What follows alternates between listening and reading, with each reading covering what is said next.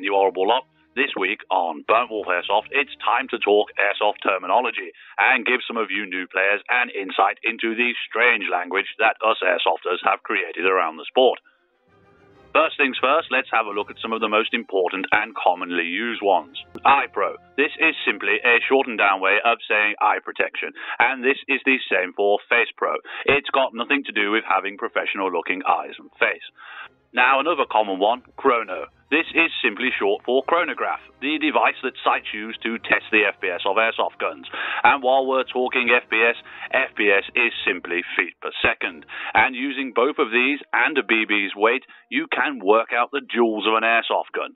A joule is just a measure of power. The UK joule limit is about 1.2 joules. If a gun is described as hot, it's over the limits for either its FPS or its joules. Few more airsoft gun related terms for you now. By now, you should be realizing that airsofters like to shorten things down and use abbreviations and acronyms. There are three different types of general gun you will hear about on the airsoft field RIFs, IFs, and real steels.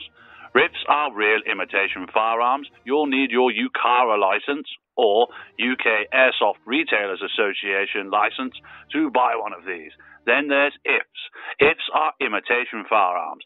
Painted in bright colors, they are also known as two tones. Then there's real steels. This is simply talking about the real, actual, proper version of a gun. Uh, don't bring one of these to airsoft. Then there are more subtypes of airsoft guns. All of these can be RIFs or IFs depending on how they're painted. Starting with the most common type out there, AEG. This simply means automatic electric gun. Then there's HPAs. This is another type. It stands for high pressure air. Then there are GBBs and EBBs. Simply gas blowback and electric blowback. Different ways of adding kick to an airsoft gun. Sometimes these are called EBBRs and GBBRs. Not often used, but occasionally you'll hear of a gun described as NBB. It simply stands for non blowback, so it doesn't kick when fired. While we're on the subject of gas blowbacks, you'll hear these thrown around a lot too.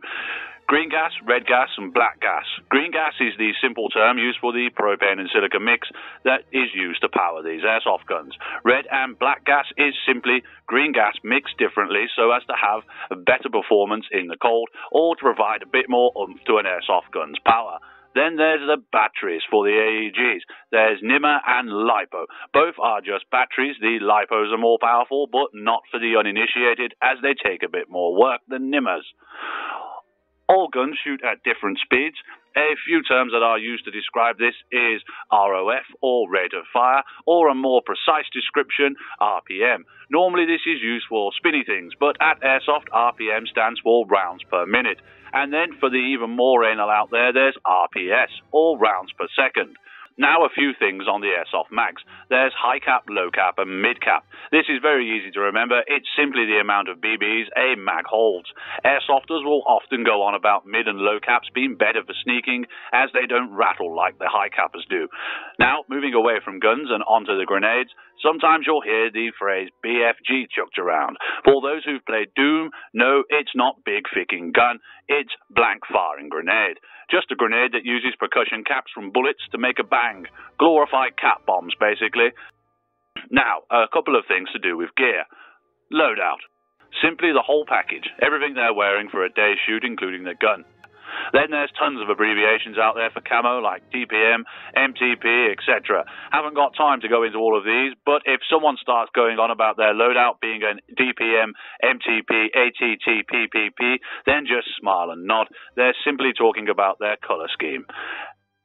Then there is this one. I actually never knew this one myself until I looked it up. RIS rails. RIS rail simply stands for Rail Interface System, the things that people love to bury in sights and other attachments. And that's a few of the words used at Airsoft. And now you can understand what a player's on about when they say they're having some trouble with their two-tone EBBR AEG at the chrono because the FPS is a bit hot, and they're down to running their DPM loadout and nothing more than a BFG. As always, thanks for watching, and don't forget to like and subscribe for more airsoft tips, tricks, reviews, and how-tos. Anyway, back to whatever you were doing. At ease.